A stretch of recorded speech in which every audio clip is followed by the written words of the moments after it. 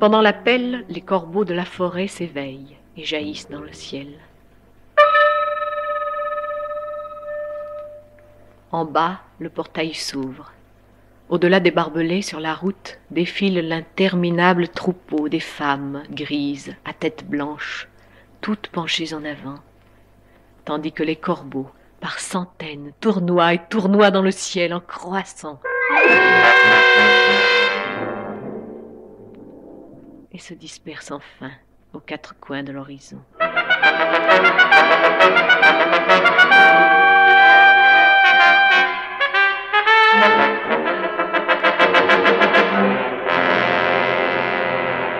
Croassez, croassez, corbeaux de Germanie, de futurs cadavres, la foule réunie vous observe d'en bas, en maudissant son sort.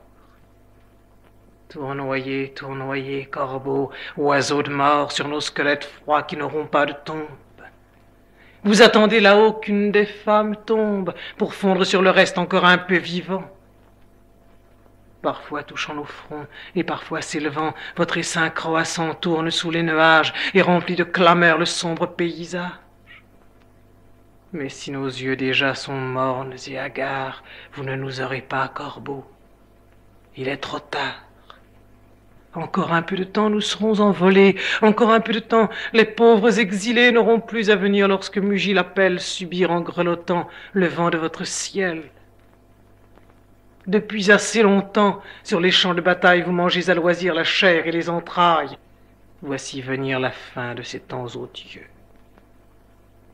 Et nous, que vous guettez dans vos vols anxieux, malgré l'épuisement et malgré la misère qui font de ce terrain un demi-cimetière, vous ne nous aurez pas, car nous voulons rentrer.